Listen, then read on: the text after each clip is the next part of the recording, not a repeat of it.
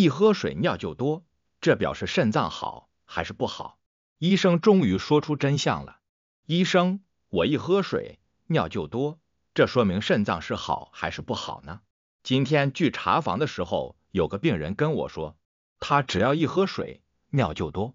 为了弄清楚怎么回事，他就去网上查询了一下，结果发现有人说这是肾脏有问题，也有人说肾脏是正常的。到底哪个观点是正确的？他也分辨不了，并且对此也比较担心。一我们喝下去的水是如何转变成尿液的？当我们喝水的时候，水会依次通过口腔、食道、胃、肠道。水在胃内被吸收得的很少，大多数水会在肠道被吸收，随后进入血液内。进入血液中的水分会随着血液的流动进入肾脏，然后由肾脏过滤变成原尿。可能会有朋友说了，既然肾脏过滤，那我们喝进去的很多水分应该会有很多被排出体外才对，但是实际上正常人每天的尿液量好像并不是太多，这是咋回事呢？我们的肾脏是存在两大结构的，即肾小球和肾小管。肾小球的主要功能就是过滤一些物质，比如水分、无机盐、葡糖糖、尿素等。肾小管的主要作用就是重吸收。对人体有利的物质会被重吸收，再次进入人体；而对人有害或者用处不大的物质会被变成尿液排出体外。一般来说，无机盐、水分、葡糖糖等物质是对人体有利的，它们大多数都会被再次吸收进入人体，而一些代谢废物就会随着尿液排出体外。我们喝水以后，有的人几分钟就有尿液。而有的人可能三十分钟左右才有尿意，这个主要是因为尿液生成的快慢会受到很多因素的影响，比如是否缺水、喝水的量、气温、运动量等。正常情况下，当肾脏形成尿液的时候，并不会立刻排出体外，而是会储存在膀胱内。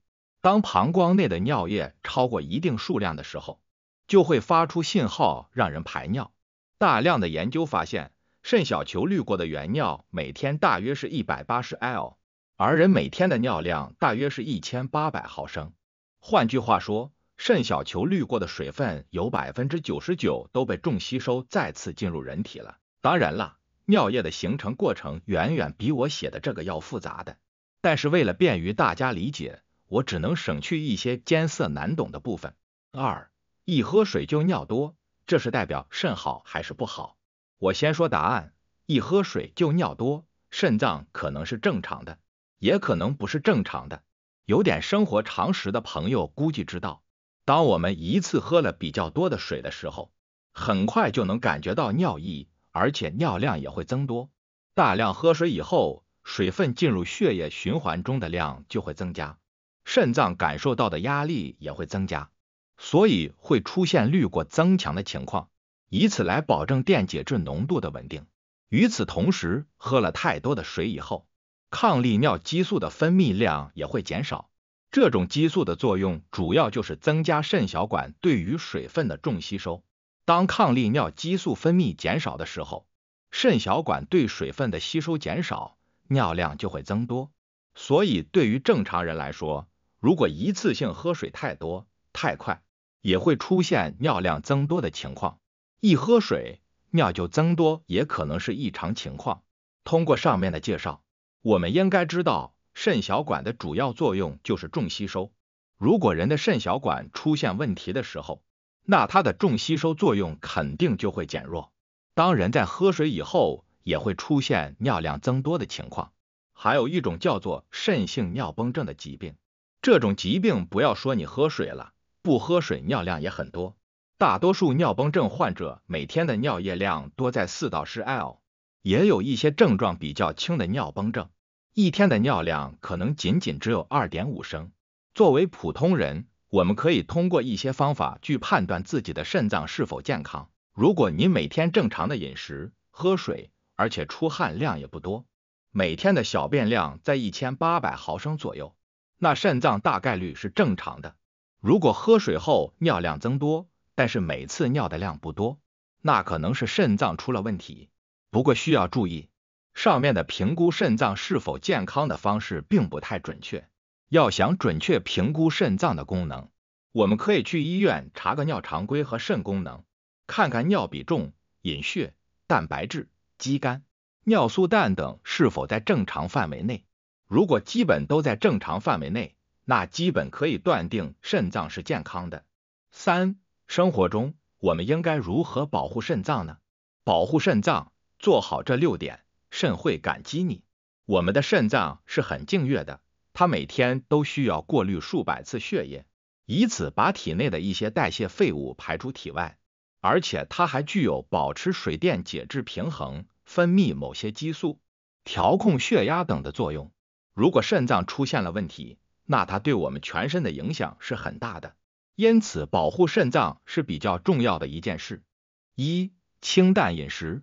如果想要肾脏健康的话，首先得注意的就是饮食。一般来说，生活中应该少吃盐分含量高的食物，因为盐的主要组成物质是钠离子，摄入体内需要通过肾脏来完成代谢。可当钠离子成分超标时，就会给肾脏增加代谢的负担，久而久之，肾小球过滤系统还可能受到伤害。当然，除了这一点之外，还得注意营养的均衡，比如适量的摄入新鲜的果蔬、蛋类、奶类、坚果类食物，因为其中富含维生素、优质蛋白、不饱和脂肪酸和脂溶性纤维素。每天吃一些，便能提高人体免疫力和肾脏的功能。二把握饮水量。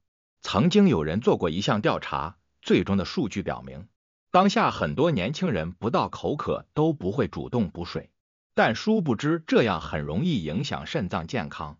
因为当有了口渴信号时，代表着身体已经极度缺水，而且肾脏的主要功能就是水分的再次吸收和代谢，在缺水时，身体内的毒素无法及时排泄，因此对于成年人来说，每天应该保证两千毫升左右的饮水量，另外不要用饮料代替。